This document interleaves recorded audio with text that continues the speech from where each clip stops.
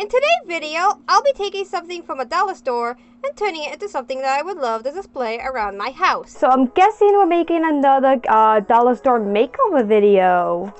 Starting off with this today. Oh, it's a tea set, and it looks like it's for Barbie.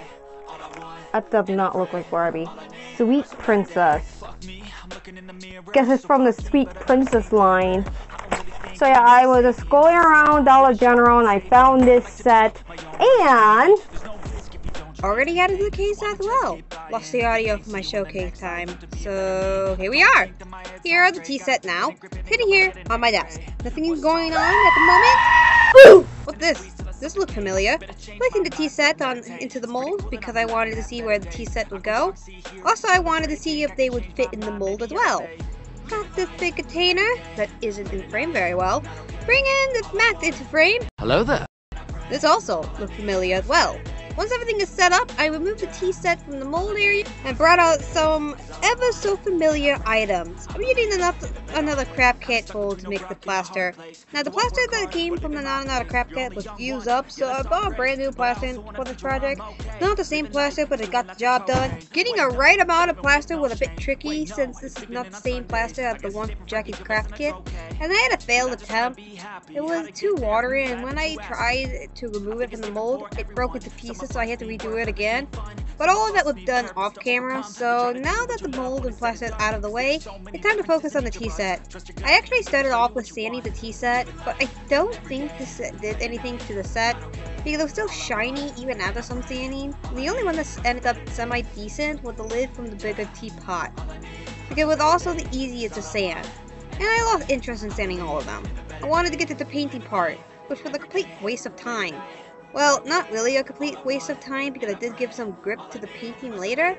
I only added one layer to the white paint on top of each of the tea set.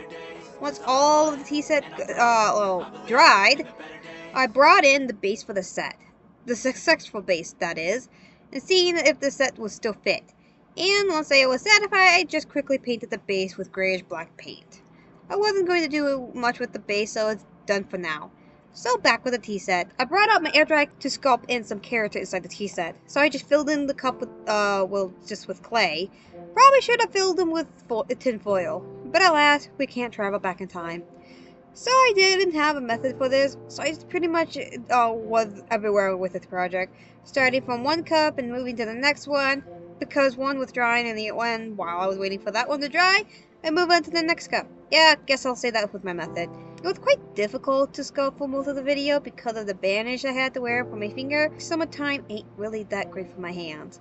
But despite this setback, I was still able to sculpt these figures. Now, these creatures, I guess I don't really know what they really are. Guess they're some sort of dragon creature? But, but your guess is good as mine. Guess I really don't have a plan for these guys, but they turn out really cute. One looked like a cute mouse, another one looked like a cow, and one with a spike looked like... Um, well, I really don't know what he looked like. I did add two snake dragons in the teacup. I don't really know what's inside the teacup. I guess whipped cream, but I don't really know why whipped cream would be in a tea. I don't drink tea. Maybe this isn't tea. Maybe it's a sugar drink, like maybe coffee. Wait, coffee is not sugar, but it is caffeine. You can actually drink coffee with whipped cream. So I guess that counts for something. Once all the sculpture phases is done, it's time to finally get to the painting. I added so many layers of white paint onto these teacup because I think the cup was made out of some sort of plaster that is very shiny. It was pretty hard for the paint to stick to the cup.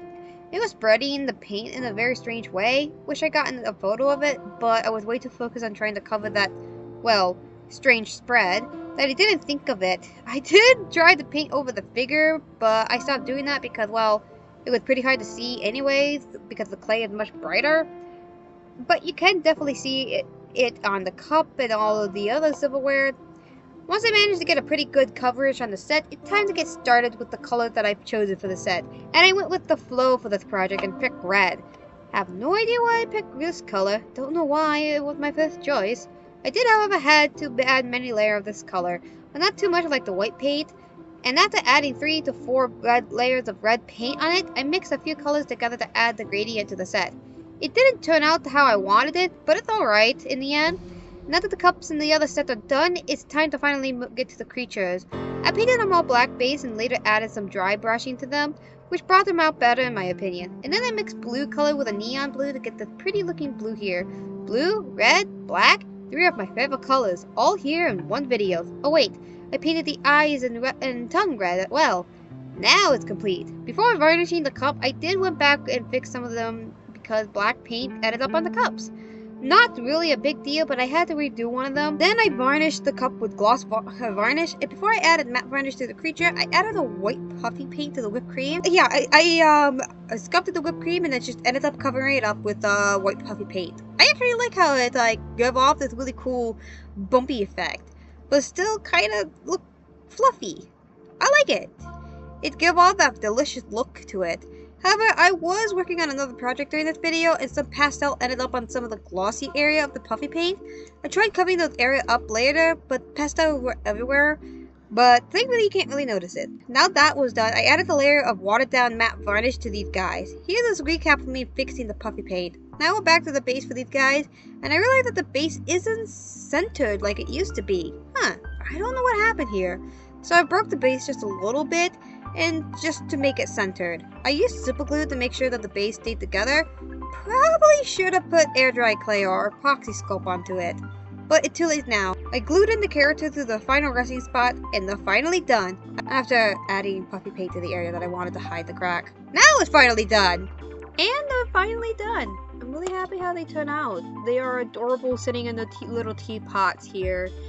And I will be posting a few pictures uh, of these guys on my Instagram page. Check out that out. That link down in the description below. Also, I'll be posting this on my Tumblr page if you guys want to check that out as well. Thank you guys so much for watching and enjoy the final result. Thank you.